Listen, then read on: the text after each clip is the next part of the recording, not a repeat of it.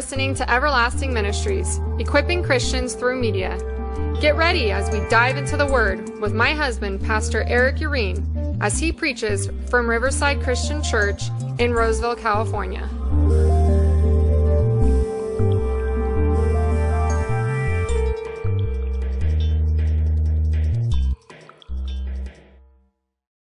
Lord, I pray that every ear, including my ears, will be open to the receiving of your word tonight, God. Lord, I pray as King Solomon prayed that we would have a heart, a listening heart, Lord, for we desire that every one of us will always leave here drawn closer to you. Please use me, Lord. I can't do this on my own giftings, God. I want it done in your will. Jesus. Amen. I want to focus on a sermon series that deals with the reality of human emotions. And so, as I was thinking about that, uh, i was reminded of some of those TV shows in the 90s, and I think some of them still go on today. Uh, I consulted someone very close to me who I considered an authority in this area of TV programming um, regarding the Jerry Springer Show and Maury Povich. Because those shows, I mean, how, how many of you have ever seen any of those shows? I've seen one or two episodes. So, right, every one of them's dealing with human emotions to an extreme, right? Anger, love, so and so cheated on so and so. Those are those are all emotions that we deal with. And as I looked into it, I, I kind of broke it down to four parts. One would be envy and jealousy. Another would be the need for us to control our mouths. Another one would be conflict resolution. How do we do that as Christians? And the one I'm going to speak about today is resolving anger. We all deal with anger at moments in our life. Some of us may be dealing with some anger right now. So I want to probe into seeing what the Bible has to say, how we as Christians deal with anger, anger in the present, anger in our past, that still dwells within us in some way. What is anger? Psalm 73, 21 and 22 says, When my heart was filled with bitterness and my mind was seized with envy, I was stupid and I did not understand. I was like a dumb animal in the presence of God. I don't know about you, but I've definitely have had those moments in my life. Looking at that, another interpretation of the seizing of the mind is that it's like a piercing from a fang from a poisonous snake. And in the Hebrew, there, it's actually the adder, which is a poisonous snake that exists in that part of the Middle East, that injects its poison directly into the human heart. That's a very powerful statement. When bitterness and anger are allowed, it will take control of our mind. And the consequence of that is stupidity and senselessness. Breaking that down, it means being incapable of sensation or comprehension, that which is associated with a dumb animal. So, not knowing too much about animals, I figured, hey, go on Google and find out what the top three dumb animals are considered. So we have visual reference. And this was, yeah, I thought sheep was the one that came to my mind, but actually that did not come up as one of the top three. Number one was a cockapoo. Anybody know what a cockapoo is? It's like a, kind of like a parrot, kind of a bird. But it can't fly. And one of the interesting things about a cockapoo, when it gets scared, it freezes and it won't move. Or it will climb a tree, and then when it gets to the top of the tree, it'll jump off the tree as if it could fly, but it can't, and you'll just boom, fall straight down to the ground. You can, you can go on YouTube and watch some of these videos. They're pretty funny. But so that was that was considered number one. Number two was a turkey. They are so dumb that they could drown in the rain.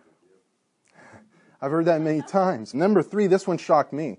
But number three was pandas.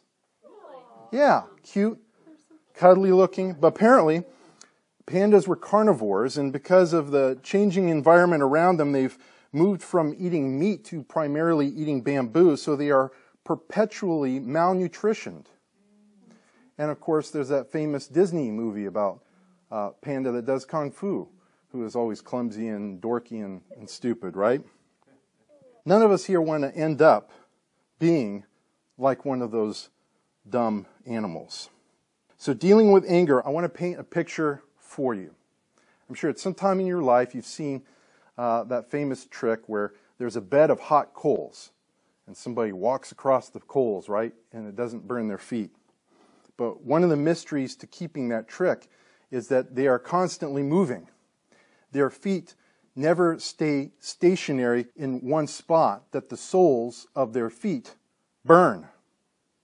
Dealing with anger in our lives is no different. The longer it remains in our heart, the more painful it is for us and others around us in our lives. Unresolved anger will produce bitterness, and bitterness is like that bed of hot, fiery coals that will continue to burn deep wounds into our soul, sear our heart, and contaminate our spirit. The eventual result is our relationships will turn to ash. There is a thief, and the thief comes to steal, kill, and destroy. We know that. But the thief will also come to steal our emotions away. Emotions of joy, peace, love. He wants to take those things from our heart. He comes to rob us of our mind as well, just as we read there in Scripture, and we will go further later on. Let us look at Scripture now. All the Scripture I'll be reading is pulled in context, dealing with the issue of resolving anger of the past and of the present. Going through Scripture, found that there are eight key points to dealing with anger. I thought that was kind of cool because the number eight in the Bible signifies resurrection and restoration, which is one of the promises of dealing with anger, unresolved anger. Resurrection and regeneration. So let's look at these eight points. Number one, we need to put past anger away. It needs to be dealt with, and it needs to be let go. Psalm 38:18 I confess my guilt, my sin troubles me. Ask God to reveal unresolved anger in your life. Ask God to see the sin as He sees the sin. Sometimes it's difficult. We can do things and we may not think, oh, that's okay, or maybe that's a light sin, but we need to be able to see sin as God sees it, to be able to recognize it and identify it so it can be resolved. And we need to confess to God all anger kept in the heart that is sin and confess to wise counsel. We might have a good friend or a pastor, but it's important if these things are gripping you and you're having difficulty to get rid of it, find wise counsel to talk to and tell them about it, or a good friend that you can trust. Number two, we need to look at the root. A lot of times in deliverance ministry, right? to get healing, you got to go to the root so that weed doesn't grow back. Psalm 139, 23 and 24. Examine me, O God, and know my mind. Test me and know my thoughts. See whether I am on an evil path. Then lead me on the everlasting path. Amen? Do you feel rejected, hurt, ignored, or rejected by betrayal? Do you feel cheated, attacked, or wronged? Did you feel threatened, out of control, powerless, or fearful? Did you feel inferior, hindered, or controlled? Those are all things that can be at the root of an anger issue. Identify what is it? Number three, let go of the right to be offended. There are a lot of times we get offended. Somebody does something to us that creates anger and we have, in the world's terms, a right to do something about it, but we don't have a right to be offended. Proverbs 17:9 in regards to being a fool or being made out to look like a fool. It says, "Whoever forgives an offense seeks love, but whoever keeps bringing up the issue separates the closest of friends." Let go of the right to dwell on being offended. let go of the right to hold on to an offense. Let go of the right to hear, I am sorry from the other person who offended you. And let go of the right to keep bringing it up. Number four, we must forgive. We must forgive. Very important.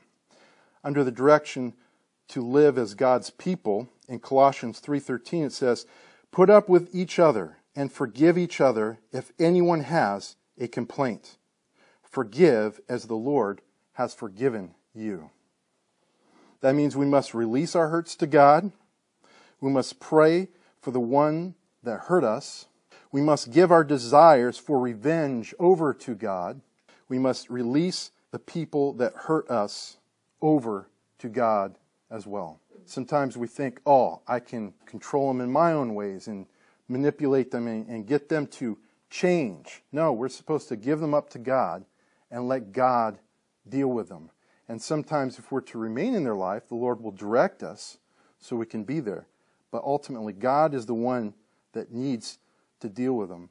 He may choose you as, an, as a vessel, and He may choose someone else as a vessel. But we have to be able to release them. And number five, this one's hard. We spoke about this a while back. Rejoice in the purpose of pain. There's a lot of us going through pain in this room. Sometimes physical pain can be a manifestation of emotional pains or woundings. Sometimes it's just the world we live in and things just happen, right? But we need to rejoice in the pain either way.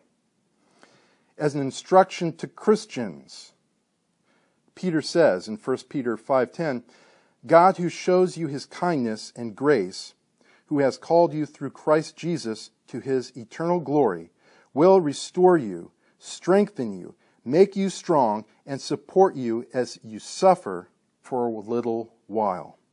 Thank God for the promises because the trials are for our own good. Thank God that He will use this process for the good of others as well.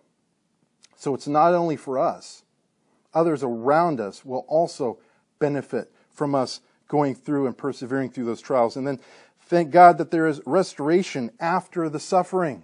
That is a promise. Now, when's that restoration going to come after the suffering? The one thing for certain is when we die and we're in eternity with Jesus Christ. That is the certainty. Will it come before that point? Ask the Lord. And thank God that the pain will make you strong, firm, and steadfast. I know times in my life when I've had to go through physical pain. I always think about this one time where I had to deliver a sermon, my back was in a lot of pain. That required me to lean on the Lord more and less on my own physical capabilities. And as a result, I think that was probably one of the most powerful outreaches that I was ever able to participate in because I really was forced to be in a position to truly rely on God for strength. But we need to thank God for his purpose of pain. Rejoice. Rejoice in that. That's a difficult one. A lot of people don't want to talk about it, but it's true. It's in the Word. And number six, bring back the relationships when appropriate. Example for not bringing back a reconciliation with a relationship would be someone who is unrepentant, and we'll get into that here in a little bit someone who's abuser, that's a physical abuser, verbal abuser, and inappropriate relationships. Obviously, two people that are married and fornicating shouldn't get back together after they reconcile that situation. So, those are the exemptions. And these, this is the words of Jesus Christ talking about anger here. But I can guarantee, which means without a cause, that whoever is angry with one another believer will answer for it in court. Whoever calls another believer an insulting name will answer for it in the highest court. Whoever calls another believer a fool will answer for it in hellfire. So if you are offering your gift at the altar and remember that another believer has something against you, leave your gift at the altar. First, go away and make peace with that person, Then come back and offer your gift. That's Matthew 5 22 through 24. So if there's an offense, God is saying you need to deal with that before coming or approaching the altar to give Him offering. We need to confess our anger to God and also to the person. Now, when we do that, we need to do that with carefully chosen words, right? If we're looking to reconcile a relationship with someone who has offended us or hurt us in some way, if we approach them to reconcile, we need to do that with carefully chosen words. We need to stay clear of accusations. We need to stay clear of blame when confessing to the other individual. We need to make our intentions known that we wish to keep and rebuild the relationship. Sometimes we can assume things in another individual. If I say this or if I act this way, this person's just going to assume that, oh, we're just back together and the relationship is mended.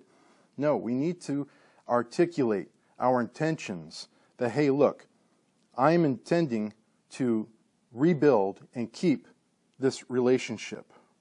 Number seven, we need to be a recipient of God's love. Paul's prayer for God to strengthen Christians is seen in Ephesians 3 17 and 19. Then Christ will live in you through faith. I also pray that love may be the ground into which you sink your roots and on which you have your foundation. This way, with all of God's people, you will be able to understand how wide, long, high, and deep his love is. You will know Christ's love, which goes far beyond any knowledge. I am praying this so that you may be completely filled with God. And again, that, that's Ephesians 3 17 and 19. We need to remember to read our Bible verses that reveal God's love for us. And we need to meditate on that daily. That's important, especially for some of us that struggle with feeling loved by God. We need to see it, we need to hear it. Sometimes listening to audio um, recordings of the Bible can help you in that way if you're more of an auditory than a visual learner. But either way, you need to immerse yourself in the promises of the Word of God for His love and compassion that He has for you. Also, need to let the Lord meet all of our needs for love. Our significance is expressed in His love for us through the actions that He has taken, will take, and the written expressions in the Word of God. And we need to thank God daily for His love. And that's something I don't do nearly enough. I was really convicted with that today. In fact, I don't remember the last time I even thanked God for that.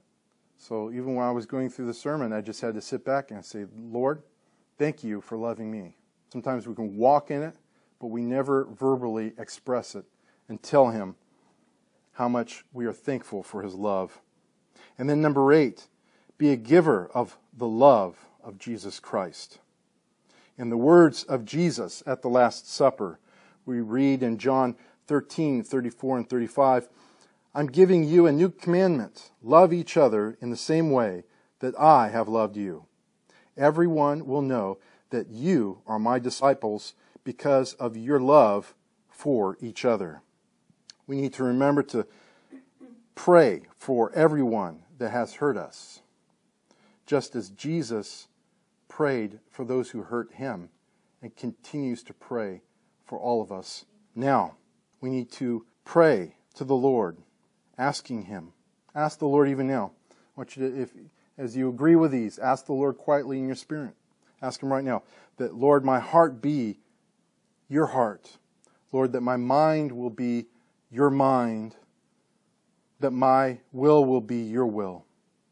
And may my love be a reflection of you, Jesus Christ, in the world around me. Amen it's important that we get this as believers. Forgiveness is mandatory as a Christian, but reconciliation is the optional second step. We should always be in a place to forgive. But when it comes to reconciling with another individual, and bringing them back into your circle. That's optional based on qualifications. So let's look at the difference between forgiveness and reconciliation. I think sometimes this, this will help us to differentiate the two. Forgiveness focuses on the offense, and reconciliation focuses on the relationship. Forgiveness doesn't require a relationship, reconciliation requires a relationship. Forgiveness can be given by one person. Reconciliation requires at least two people. Forgiveness releases the offender. Reconciliation rejoins with the offender. Forgiveness is extended in one direction, and reconciliation is reciprocal. Right? Goes in a circle between the two. Forgiveness involves a changing of the mind towards the offender. Reconciliation requires a changing of behavior by the offender. Forgiveness is a free gift given one way. Reconciliation is the restoration of a relationship. Forgiveness is given even when it's not earned, but reconciliation is given because the offender is earning it. Forgiveness is unconditional. Reconciliation is based on repentance.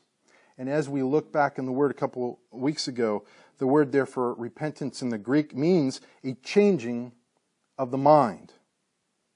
You can't reconcile with someone who doesn't change. But the changing of the mind will always result in the changing of someone's actions. That's what we can see. That's the fruit that they bear. Proverbs 22, 24, and 25. Do not be a friend with one who has bad temper, and never keep company with a hothead, or you will learn his ways and set a trap for yourself. Again, that's Proverbs 22, 24, and 25. The Hebrew word there says, Do not even associate with one who has a bad temper, or go along with, which means to come in agreement with, a hot tempered man. And what is the outcome? If we choose to do that, we will learn their ways and it will end up us setting a trap for ourselves. Now, there's enough traps in life. They said, the devil's always trying to put traps. I'm like, whenever you have the opportunity to avoid or reduce the number of traps in life, take it. Because there's always going to be something to deal with, right? So when we have the opportunity to avoid something or to keep it from coming into our life, take it. A hot tempered man. That means the result is a dumb animal. And as cute as a panda bear is, we were not created to be a panda bear. So wrapping this up, I want to go back to Psalm 73, 21 through 24. When my heart was filled with bitterness and my mind was seized with envy, I was stupid and I did not understand. I was like a dumb animal in your presence. But then the second part. Yet I am always with you. You hold on to my right hand. With your advice, you guide me. And in the end, you will take me to glory. Amen. Did this speak to anyone in this room? I look at my wife, she looks at me, different parts. yep, it's, it's speaking, it's moving. It's important for us to, to deal with this. We have to forgive. We can't hold on to anger and bitterness. And when possible, reconcile. It's hard, but it's essential for the Christian life.